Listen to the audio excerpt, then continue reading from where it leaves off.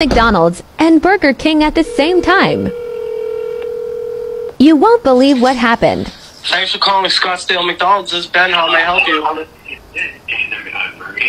No, bro, you called me. Um, why did you call me? No, why'd you call me, bro? Uh.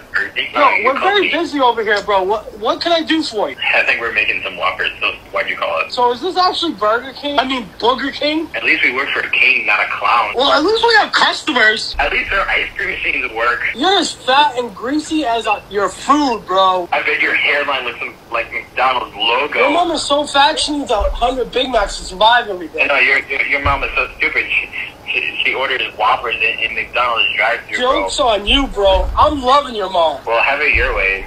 Because my mom's dead has been dead for five years.